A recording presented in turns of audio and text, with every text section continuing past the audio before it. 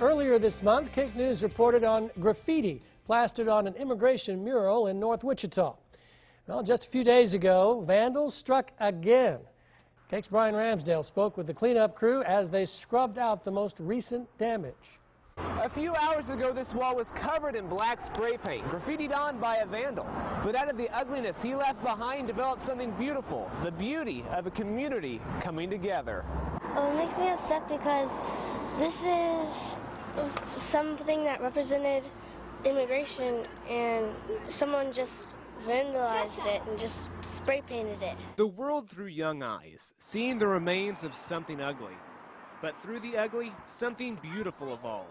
Volunteers are out at this mural again, cleaning it for a second time after someone drew swastikas on it.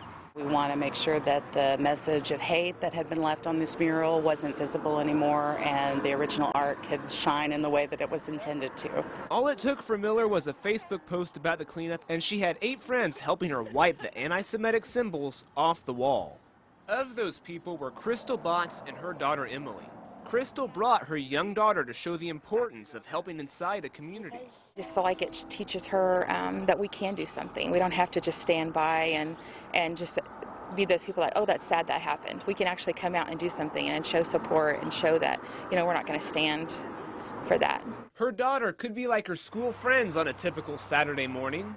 Still sleeping, probably. But she is getting her hands dirty, bringing the beauty back to a wall that supports more than just a roof. Bryan Ramsdale, KAKE News.